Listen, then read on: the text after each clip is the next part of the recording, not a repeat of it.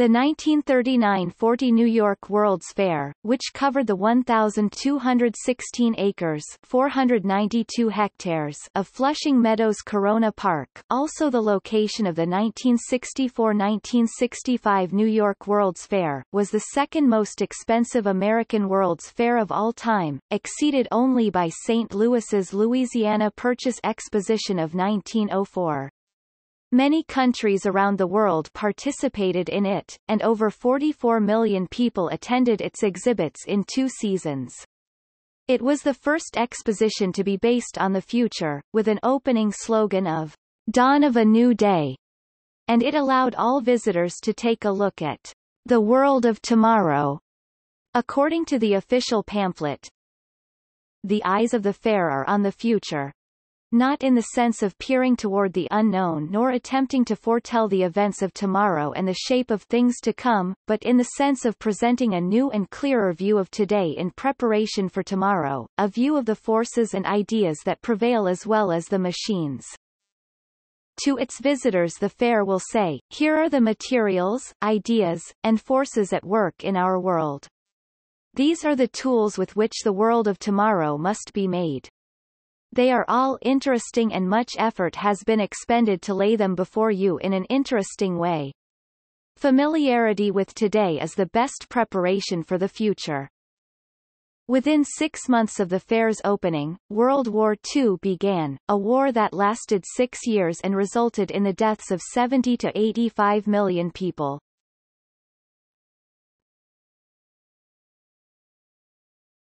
Topic. Planning In 1935, at the height of the Great Depression, a group of New York City businessmen decided to create an international exposition to lift the city and the country out of its economic woes. Not long after, these men formed the New York World's Fair Corporation, whose office was placed on one of the higher floors in the Empire State Building.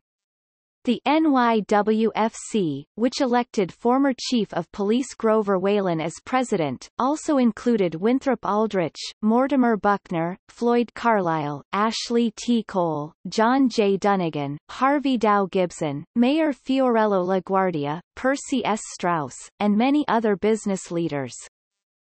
Over the next four years, the committee planned, built, and organized the fair and its exhibits, with countries around the world taking part in creating the biggest international event since World War I. Working closely with the fair's committee was New York City Parks Commissioner Robert Moses, who saw great value to the city in having the World's Fair Corporation at its expense remove a vast ash dump in Queens that was to be the site for the exposition. This event turned the area into a city park after the exposition closed. Edward Bernays directed public relations of the fair in 1939, which he called Democracity. Grover Whalen, a public relations innovator, saw the fair as an opportunity for corporations to present consumer products, rather than as an exercise in presenting science and the scientific way of thinking in its own right, as Harold Urey, Albert Einstein, and other scientists wished to see the project. As events transpired, reported Carl Sagan, whose own interest in science was nevertheless sparked by the fair's gadgetry. Almost no real science was tacked into the fair's exhibits, despite the scientists' protests and their appeals to high principles. Promotion of the fair took many forms. During the 1938 Major League Baseball season, the Brooklyn Dodgers, New York Giants, and New York Yankees promoted the event by wearing patches on the left sleeve of their jerseys featuring the Trilon, Perisphere, and 1939. The same year, Howard Hughes flew a special World's Fair flight around the world to promote the fair. While the main purpose of the fair was to lift the spirits of the United States and drive much-needed business to New York City, it was also felt that there should be a cultural or historical association. It was therefore decided for the opening to correspond to the 150th anniversary of George Washington's first inauguration as President of the United States, and WPA artists painted murals which appeared in the New York Times Magazine.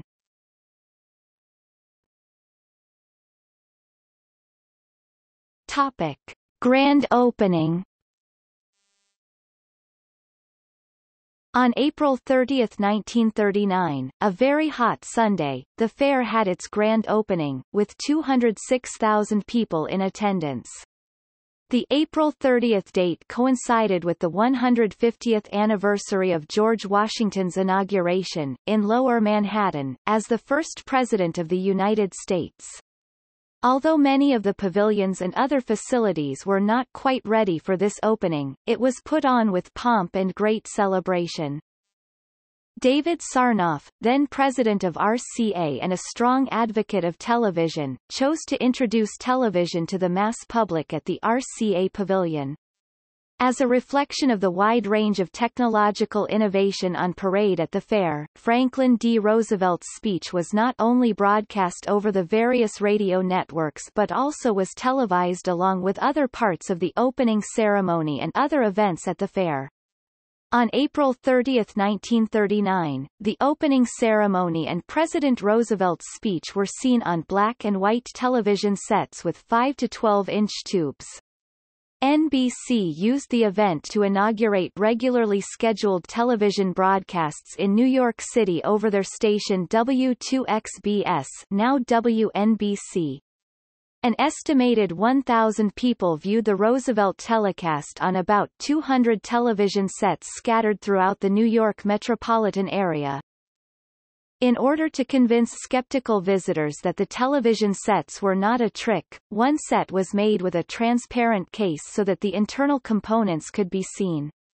As part of the exhibit at the RCA Pavilion, visitors could see themselves on television. There were also television demonstrations at the General Electric and Westinghouse pavilions. During this formal introduction at the fair, television sets became available for public purchase at various stores in the New York City area. After Albert Einstein gave a speech discussed cosmic rays, the fair's lights were ceremonially lit. Dignitaries received a special opening day program which contained their names written in Braille.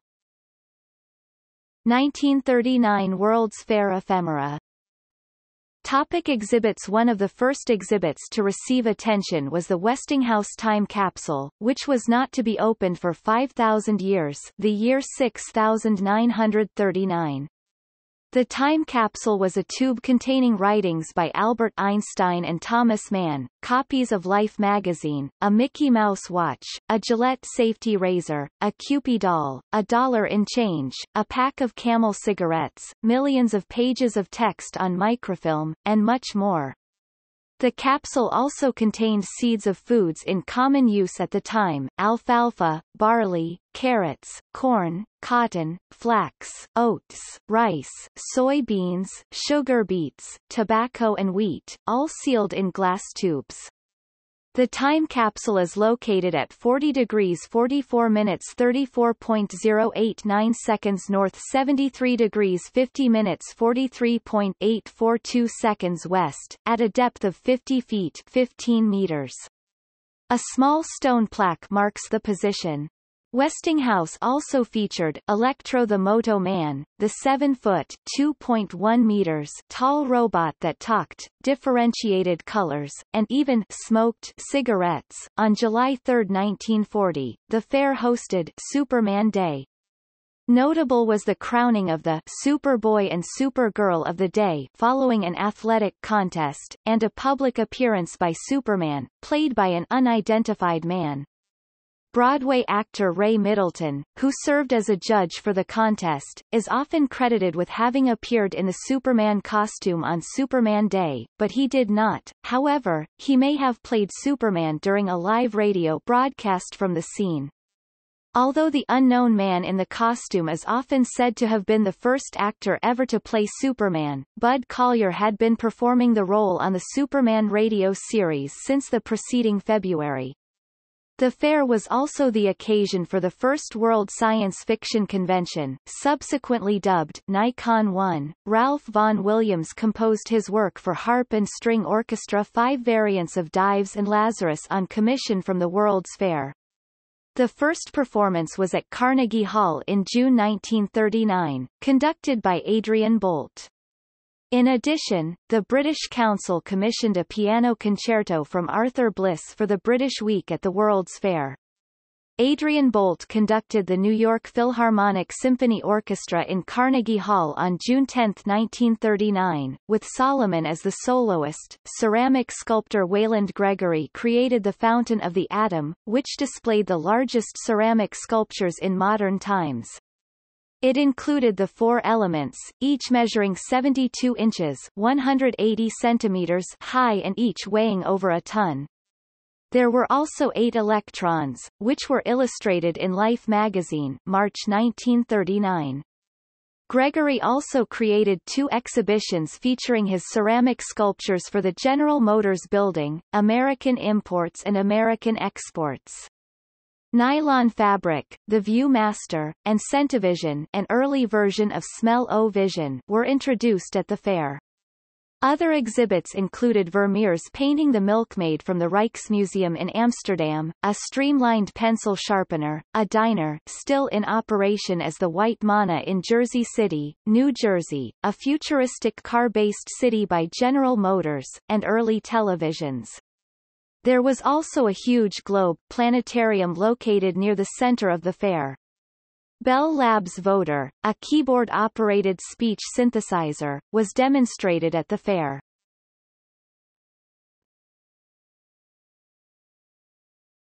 Topic. Themes and zones The fair was divided into differently themed zones, such as the Transportation Zone, the Communications and Business Systems Zone, the Food Zone, the Government Zone, and so forth. Virtually every structure erected on the fairgrounds was extraordinary, and many of them were experimental in many ways. Architects were encouraged by their corporate or government sponsors to be creative, energetic and innovative. Novel building designs, materials and furnishings were the norm. Many of the zones were arranged in a semicircular pattern, centered on the Wallace Harrison and Max Abramovitz designed theme center, which consisted of two all-white, landmark monumental buildings named the Trilon over 700 feet 210 meters tall and the Perisphere which one entered by a moving stairway and exited via a grand curved walkway named the Helicline. Inside the Perisphere was a model city of tomorrow that visitors viewed from a moving walkway high above the floor level. The zones were distinguished by many color cues, including different wall colors and tints and differently colored lighting. The colors blue and orange were chosen as the official colors of the fair, as they were the colors of New York City, and featured prominently.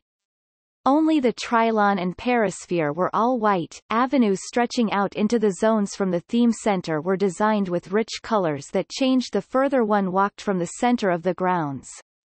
For example, the exhibits and other facilities along the Avenue of Pioneers were in a progression of blues, starting with pale tints and ending in deep ultramarine. At night, with the latest in lighting technology switched on, the effect was felt by many visitors to be a magical experience. Outdoor public lighting was at the time of a very limited and pedestrian nature, perhaps consisting of simple incandescent pole lamps in a city and nothing in the country. Electrification was still relatively new and had not reached everywhere in the U.S. The fair was the first public demonstration of several lighting technologies that became common in the following decades. These technologies included the introduction of the first fluorescent light and fixture. General Electric Corporation held the patent to the fluorescent light bulb at the time. Approximately a year later, the original three major corporations, Lightolier, Artcraft Fluorescent Lighting Corporation, and Globe Lighting, located mostly in the New York City region, began wide-scale manufacturing in the U.S. of the fluorescent light fixture. Another theme of the fair was the emerging new middle class, leading a hoped for recovery from the Great Depression. The fair promoted the Middleton family Babs, Bud, and their parents, who appeared in ads showing them taking in the sights of the fair and the new products being manufactured to make life easier and affordable, such as the new automatic dishwasher. Each day at the fair was a special theme day, for which a special button was issued. For example, May 18, 1939, was Asbury Park, New Jersey Day. Some of these buttons are very rare and all are considered collectibles. In 1940, the theme of the fair was changed to For Peace and Freedom, as war in Europe escalated. One poster from that year's fair, issued by Borden's Milk, had Elsie the cow proclaiming, Makes you proud to be an American. Topic transportation zone With its vast area and prominent location just south of the theme center, the Transportation Zone pavilions attracted widespread attention. Perhaps the most popular of the Transportation Zone pavilions was the one built for General Motors. There, the 36,000 square feet 3,300 square meters Futurama exhibit, designed by famed industrial designer and theater set designer Norman Bel Geddes, transported fair visitors over a huge diorama of a fictional section of the United States that was designed with a stunning array of miniature highways, towns, 500,000 individually designed homes, 50,000 miniature vehicles, waterways, and a million miniature trees of diverse species.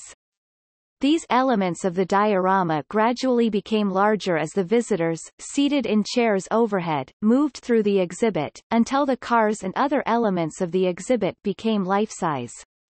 At the conclusion of the ride the visitors to the pavilion exited into an area that was constructed as a life-size city intersection with multi-story buildings and stores on all sides. The stores included an auto dealership and an appliance store where visitors could see the latest GM and Frigidaire products. As with almost all pavilions in the fair, these showcases were not only intended to get people to buy the sponsors' products, they were also intended to educate and inform the populace about basic materials and processes that were then very new and not well known. Many experimental product concepts and new materials were shown that were not currently available for purchase, but became available in various ways over the next few years. In many ways the fair pavilions more resembled a modern-day government-sponsored science fair exhibit than they resembled modern corporate advertising and sales promotions. Adjacent to the GM Pavilion was the Ford Pavilion, where race car drivers drove on a figure-eight track on the building's roof endlessly, day in and day out. Not far from GM and Ford was the Chrysler Exhibit Group, where an audience in a theater with air conditioning, then a new technology, could watch a Plymouth being assembled in an early 3D film.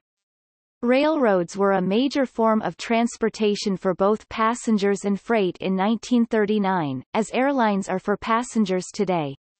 Many visitors to the fair arrived in New York by railroad, and most visitors had at least a moderate interest in the topic. The centerpiece of the Railroad Conference exhibits on 17 acres was Railroads on Parade, a spectacular live drama reenacting the birth and growth of railroads. It had music by Kurt Weill and choreography by Bill Mattens. In addition to the show, there were important historical objects on display by the various railroads and manufacturing companies, such as the Tom Thumb engine. The Pennsylvania Railroad PRR had its S1 engine on display, mounted on rollers under the driver wheels and running continuously at 60 miles per hour 97 kilometers per hour all day long. The British London Midland and Scottish Railway sent their Coronation Scott Express train with a locomotive LMS Princess Coronation Class 6229 Duchess of Hamilton, disguised as sister locomotive 6220 Coronation, to the fair. GM's Electro-Motive division had a display of their then new streamlined diesel-electric passenger locomotives. The Italian state railways displayed one of their record-setting ETR 200 electric multiple-unit cars. Topic communications and Business Systems Zone Fairgoers walking to the left of the theme center on the Avenue of Patriots visited the Communications and Business Systems focal exhibits. At the AT&T Pavilion the Voder, a mechanized, synthetic voice, spoke to attendees, foretelling the widespread use of electronic voices decades later. At the IBM Pavilion, electric typewriters and a fantastic machine called the electric calculator that used punched cards, were on display. IBM also had a fine art gallery with hundreds of artworks from 70 countries around the world. Citation needed. The exhibit for Firestone tires featured the famous pygmy hippo, Billy, who had been a pet of former U.S. President Calvin Coolidge. Next door to these business exhibits was the Masterpieces of Art building housing 300 priceless works of the Old Masters, from the Middle Ages to 1800. Whalen and his team were able to borrow priceless paintings and sculptures from Europe and hang them in a graceful, understated building in Queens for two years. 35 galleries featured great works from Da Vinci and Michelangelo to Rembrandt, from Hals to Caravaggio and Bellini.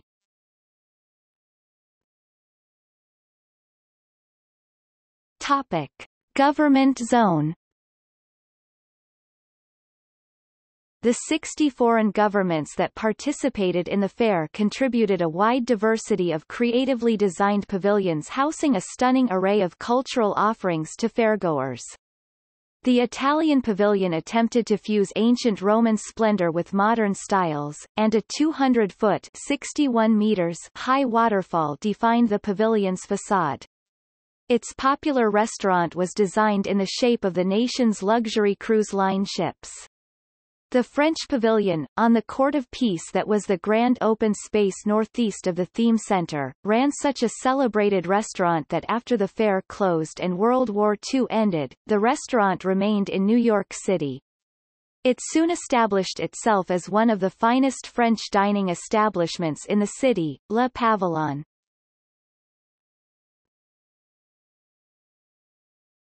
Topic. British Pavilion The copy of Magna Carta belonging to Lincoln Cathedral also left Britain in 1939 for the first time to be in the British Pavilion at the fair. Within months Britain joined World War II and it was deemed safer for it to remain in America until the end of hostilities. It therefore remained in Fort Knox, next to the original copy of the American Constitution, until 1947.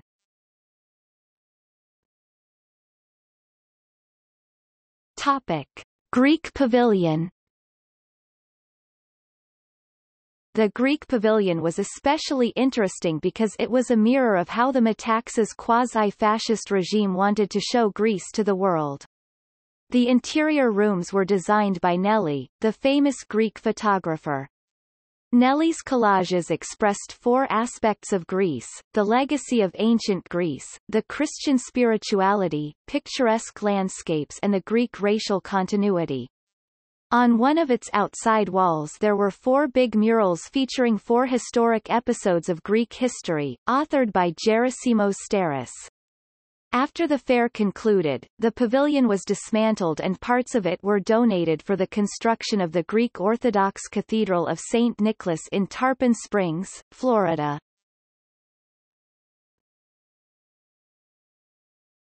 Topic. Japanese pavilion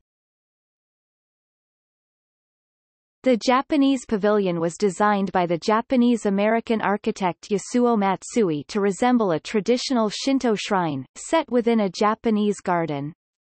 It offered tea ceremony and Japanese flower arrangement exhibits. The interior had a diplomat room, which featured a reproduction of the Liberty Bell made out of Japanese pearls and diamonds, worth $1 million. This room also featured a photomontage mural across which was written the motto, dedicated to eternal peace and friendship between America and Japan.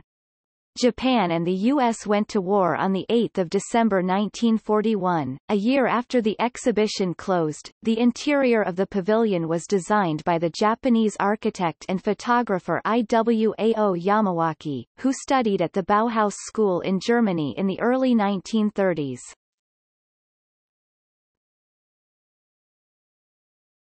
Topic: Jewish Palestine Pavilion The Jewish Palestine Pavilion introduced the world to the concept of a modern Jewish state, which a decade later became Israel. The pavilion featured a monumental hammered copper relief sculpture on its facade titled The Scholar, the Laborer, and the Toiler of the Soil by the noted Art Deco sculptor Maurice Ascalon.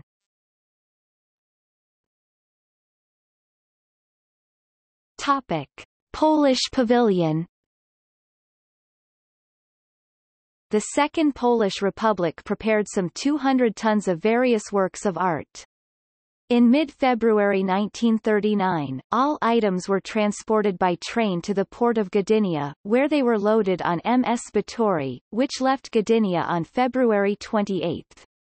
Among most important items presented by Poland in New York City were, a royal carpet of King Kazimierz Jagiellończyk, seven paintings presenting important events of Polish history, 150 contemporary Polish paintings, a gunmetal monument of Józef Pilsudski, armor of a Polish hussar from Kornik Castle, ancient Polish weaponry 14th-18th centuries, a bell manufactured for the purpose of the fair, folk costumes, house furniture from different different regions of Poland, and examples of Polish inventions.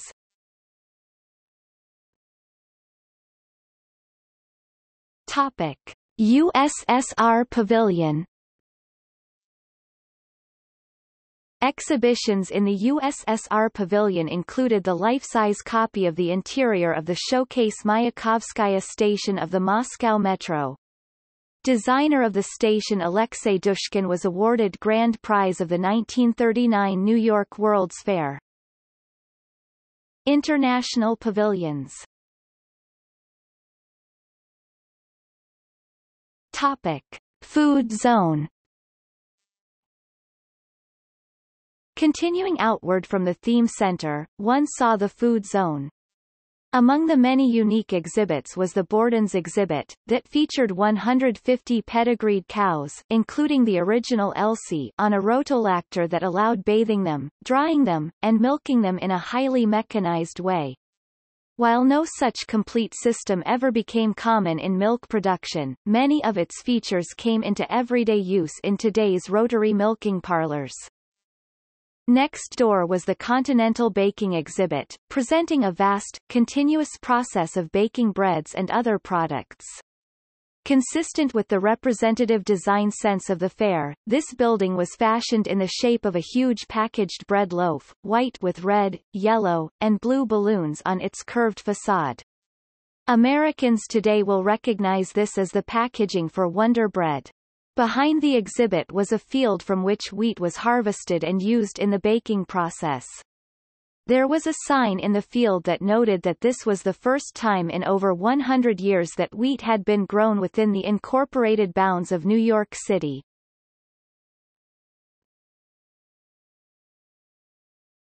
Topic. Amusement area beyond the corporate and government zones, the wildly popular but less uplifting amusements area was not integrated into the thematic matrix, and was a mere area rather than a zone. Despite the high-minded educational tone that Grover Whalen attempted to set, the amusements area was the most popular part of the fair, and included a roller coaster, the Lifesavers parachute jump later moved to Coney Island, where it still stands today, the 3 feet 914 millimeters narrow-gauge Gimbels Flyer train ride later purchased by Kennywood, where it still runs today, and carnival acts such as a collection of performing dwarves. Frank Buck exhibited his Frank Buck's Jungleland, which displayed rare birds, reptiles and wild animals along with Jigs, a five-year-old trained orangutan. In addition, Buck provided a trio of performing elephants, an 80-foot 24 meters Monkey Mountain with 600 monkeys, and an attraction that had been popular at the 1893 Chicago World's Fair, camel rides. A number of the shows provided spectators with the opportunity of viewing women in very revealing costumes or topless, such as the Frozen Alive Girl, The Living Pictures, and The Dream of Venus Building. This last attraction was a pavilion designed by the Spanish surrealist artist Salvador Dali which contained within it a number of unusual sculptures and statues as well as live nearly nude performers posing as statues. While there were a number of protests by prominent politicians over the course of the fair about the low-minded entertainment and the New York Vice Squad raided shows in the area on several occasions, the public generally accepted this form of entertainment.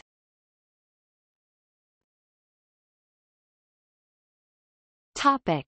Bendix Lama Temple Girly Show The Bendix Lama Temple was a 28,000-piece full-sized replica of the 1767 Potala Temple in Jehol, Manchuria, commissioned and brought back by the industrialist and explorer Vincent Bendix. The temple had previously been exhibited at the 1933 Chicago World's Fair, called Century of Progress. In New York, the temple contained a girly show, Topic: Aquacade. Billy Rose's Aquacade was a spectacular musical and water extravaganza foreshadowing the form of many popular Hollywood musicals in the ensuing years. The show was presented in a special amphitheater seating 10,000 people and included an orchestra to accompany the spectacular synchronized swimming performance. It featured Johnny Weissmuller and Eleanor Holm, two of the most celebrated swimmers of the era, and dazzled fairgoers with its lighting and cascades and curtains of water, pumped in waterfalls at 8,000 gallons a minute. The cost of admission was 80 cents. The Aquacade facility itself served as an entertainment venue in the park for many years afterward, including the 1964-65 World's Fair, but fell into disrepair in the 1980s and was finally demolished in 1996.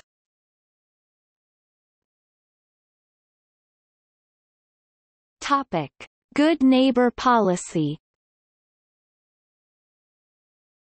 The New York World's Fair of 1939 was just the place to promote neighborly relations between the U.S. and Latin America. Placed against the backdrop of a growing Nazi threat, the World's Fair was an attempt to escape from the looming prospect of war and to promote peace and interdependence between nations. With the fair boasting over 60 countries, with some coming from Latin America, this was the place to redefine negative Latin American stereotypes. Argentina, Brazil, Chile, Venezuela, Cuba, Mexico, Nicaragua and the Pan-American Union were all represented at the World's Fair. Each country seized the opportunity to showcase their country and to make it more appealing to those around the world, especially in the United States. In their bid to increase cultural awareness at the World's Fair, the countries promoted tourism and strived to compare itself to the United States in an effort to appeal to Americans.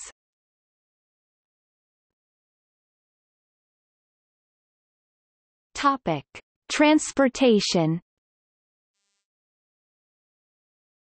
A special subway line, the Ind World's Fair Line, was built to serve the fair. World's Fair now Mets, Willets Point station on the IRT Flushing Line was rebuilt to handle fair traffic on the IRT and BMT. A Long Island Railroad station now Mets, Willets Point was built next to the Flushing Line station. The Ind extension departed the Ind Queens Boulevard line east of the Forest Hills 71st Avenue station and before the 75th Avenue station. The World's Fair station was at the east side of the Meadowlands at Horace Harding Boulevard. The period system route map and fare maps display this temporary extension.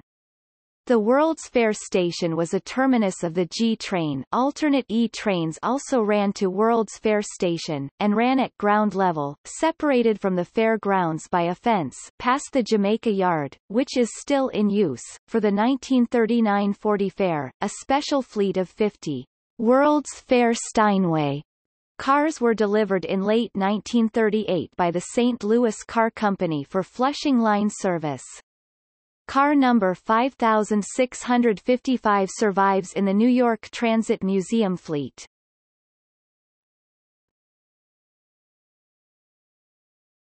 Topic. Closure and current status The fair was open for two seasons, from April to October each year, and was officially closed permanently on October 27, 1940. To get the fair's budget overruns under control before the 1940 season and to augment gate revenues, Whalen was replaced by banker Harvey Gibson. In addition, much greater emphasis was placed on the amusement features and less on the educational and uplifting exhibits. The Great Fair attracted over 45 million visitors and generated roughly $48 million in revenue. Since the Fair Corporation had invested $67 million in addition to nearly $100 million from other sources, it was a financial failure, and the corporation declared bankruptcy. Many of the rides from the World's Fair were sold after its closure to Luna Park, Coney Island which was allowed to call itself the New York World's Fair of 1941. The Lifesavers parachute jump was sold that same year to become the parachute jump at Steeplechase Park. The Unisphere, built as the theme symbol for the 1964-1965 World's Fair, now stands on the site occupied by the Perisphere during the earlier fair.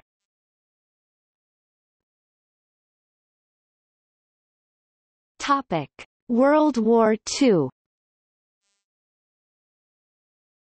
Although the United States did not enter World War II until the end of 1941, the fairgrounds served as a window into the troubles overseas. The pavilions of Poland and Czechoslovakia, for example, did not reopen for the 1940 season.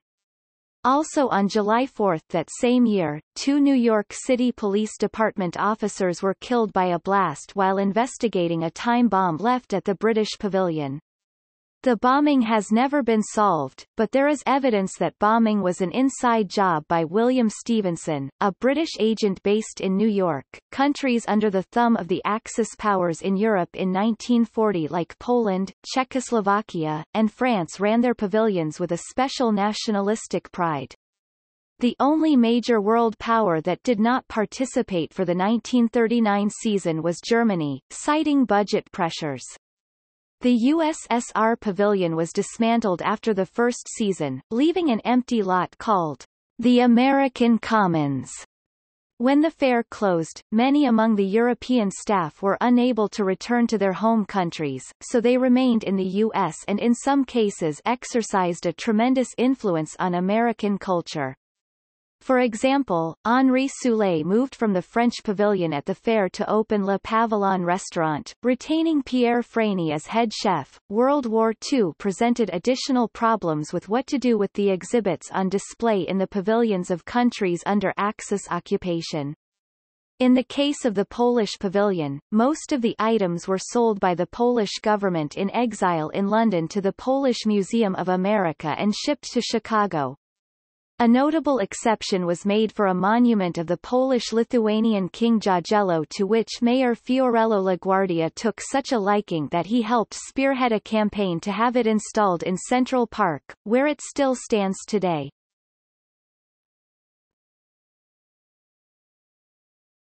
Topic. Belgian Pavilion Another building saved from 1940 was the Belgian building designed by Henry van de Velde. It was awarded to Virginia Union University in Richmond, Virginia, and shipped to Richmond in 1941. The school still uses the building for its home basketball games.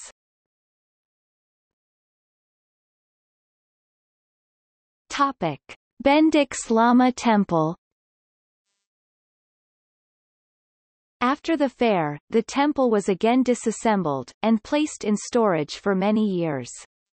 There were proposals to erect it at Oberlin College, Harvard University, Indiana University, and elsewhere, but they all failed for lack of funding.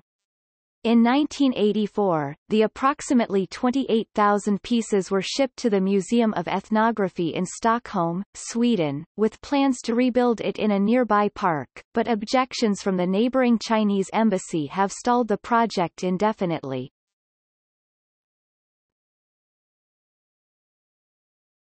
Topic. New York City Building Some of the buildings from the 1939 fair were used for the first temporary headquarters of the United Nations from 1946 until it moved in 1951 to its permanent headquarters in Manhattan. The former New York City building was used for the UN General Assembly during that time. This building was later refurbished for the 1964 fair as the New York City Pavilion, featuring the panorama of the city of New York, an enormous-scale model of the entire city. It became the home of the Queens Center for Art and Culture, later renamed the Queens Museum of Art, and now called the Queens Museum, which still houses and occasionally updates the panorama. One other structure from the 1939-40 fair remains in original location, the Willets Point Elevated IRT station, built new for the fair. It also served the 1964-65 events and continues to serve New York Mets games and U.S. Open tennis.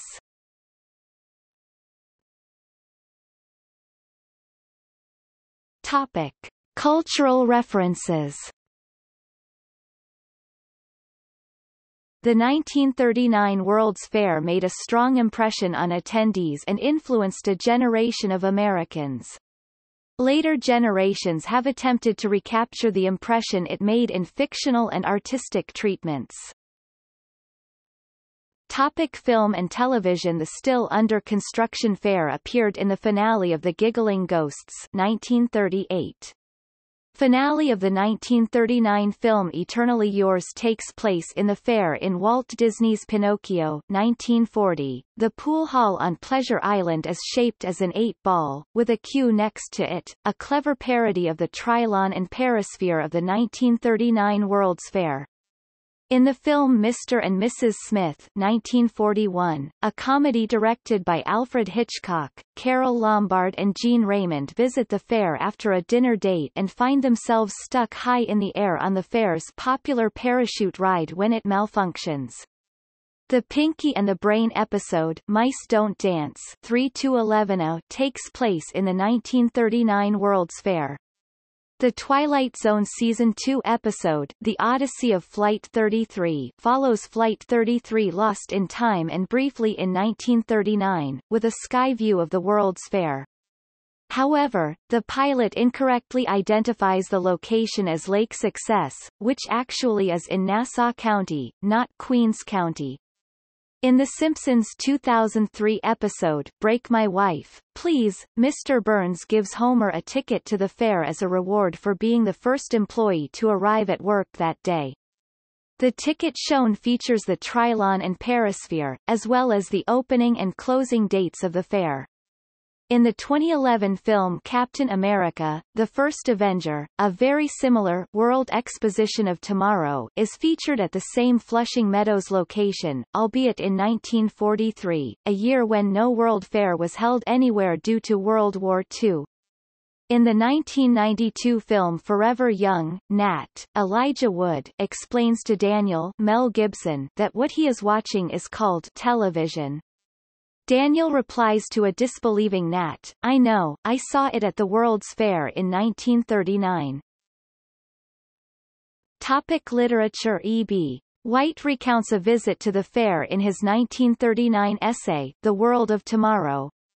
The still under construction fair was the focus of the entire book The World's Fair Goblin 1939, which was written in the fall of 1938 after the editors and authors were given a private fact-finding, research tour of the fair. The original draft of the World's Fair Goblin was called The Man of Tomorrow, but it was considered better advertising to include the World's Fair name in the title. DC Comics published a 1939 New York World's Fair Comics comic book, followed by a 1940 edition in the next year. It became the precursor of the long-running Superman-Batman team-up book World's Finest Comics. The 1939 and 1940 comics were sometimes referenced in All-Star Squadron. Early Superman was described as a result of natural evolution from the inhabitants of his native world, leading to his alias Man of Tomorrow, which reminds one of the World of Tomorrow theme of the fair. Doc Savage, a popular fictional character of the pulp era who used scientific detection in his adventures, was seen as a perfect match for the fair's World of the Future concept. President Grover Whalen to do a grand opening cross-promotion with the publisher, Street and Smith. In the novel The Amazing Adventures of Kavalier and Clay 2000 by Michael Chabon, one of the main characters breaks into the abandoned fairgrounds and the perisphere. The fair is featured prominently in the graphic novel Whatever Happened to the World of Tomorrow? by Brian Fies. In it, a father takes his young son to the fair which inspires him to a lifelong fascination with the promise of a hopeful, wonder-filled future. Australian novelist and scriptwriter Frank Moorhouse places several chapters of his award-winning novel Dark Palace at the World's Fair. The novel's protagonist, Edith Campbell Barry, works for the League of Nations and in one episode she is presented as the driving force behind the flying of the League's flag alongside those of the United States and the state of New York.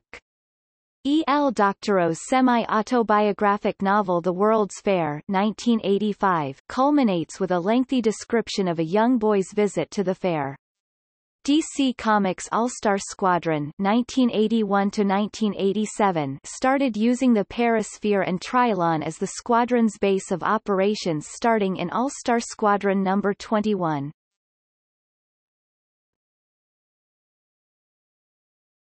Topic. Other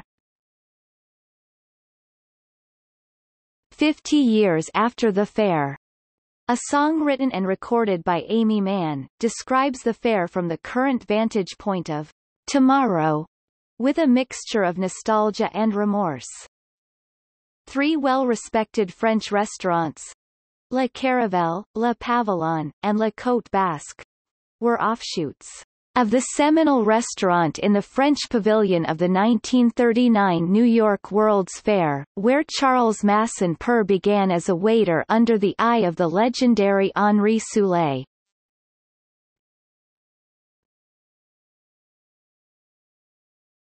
Topic.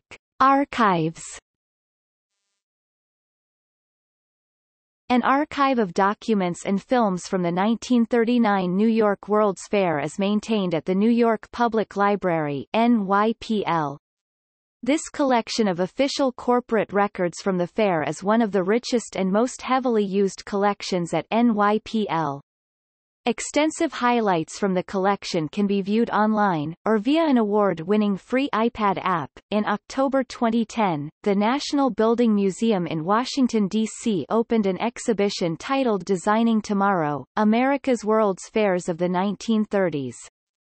This exhibition, which was available for view until September 2011, prominently featured the 1939 New York World's Fair.